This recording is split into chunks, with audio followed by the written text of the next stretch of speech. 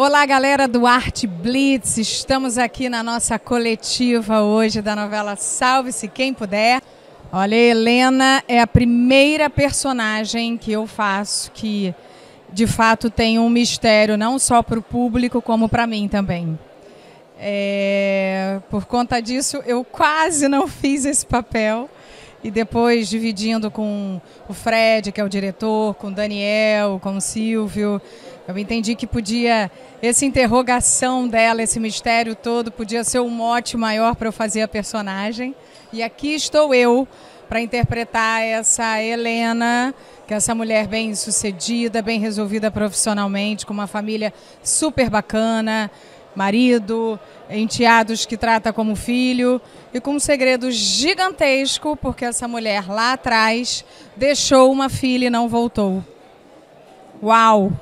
eu não sei porquê. Então, para mim, é um grande mistério também, assim como para vocês. Ela, em vários momentos, ela fala sobre isso. Em quase todo o capítulo eu falo. É, é um buraco mal resolvido para essa mulher, para essa personagem.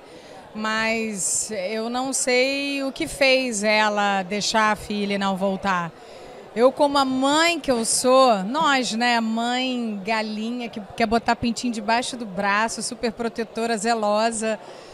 Tipo, me pergunto muito o que pode ter justificado para essa mulher ter feito isso, ou se de fato a índole dela é ok. Então, eu vou ficar sabendo, eu acho que junto com vocês. Ela ama, mas num sentido, eu acho, de proteção a relação que ela tinha lá atrás com o Mário, com a Luna, que era que é o Murilo e é a Ju Paiva, a relação que ela tinha ali, acho que era uma relação muito real e leve, sem interesses por amor. Este marido, eu acho que de alguma forma protegeu ou protege ela deu essas oportunidades de vida, porque ele é um cara bem sucedido, ele deu oportunidade desse estabelecimento, dessa independência profissional e financeira dela. E é um amor, mas é um amor de uma outra maneira. Então, a gente tem cenas aí maravilhosas que a gente ainda não gravou, tá? Eu já gravei capítulos mais acima disso, mas esse momento de encontro com a minha filha, eu ainda não gravei.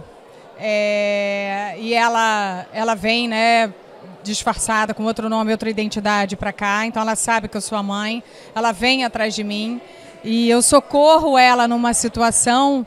E tem uma cena que é muito fofa, porque aí é, eu falo, eu sei quem. Ela fala, ah, você sabe quem eu sou? Eu digo, claro que eu sei, menina. E aí eu falo, tá aqui escrito na sua identidade, Fiona Nananá. E aí ela, por quase um momento, achou que eu pudesse me revelar sendo a mãe.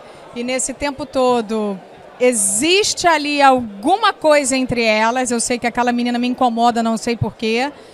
Mas ela acaba indo trabalhar no meu estabelecimento e depois na minha casa. E é bem louco, porque eu tô quase no momento mãe e sogra da minha filha. Enfim, vocês têm que assistir, gente. Salve-se quem puder. Uma novela alta astral e também cheia de mistérios por trás dessa personagem. Não perca.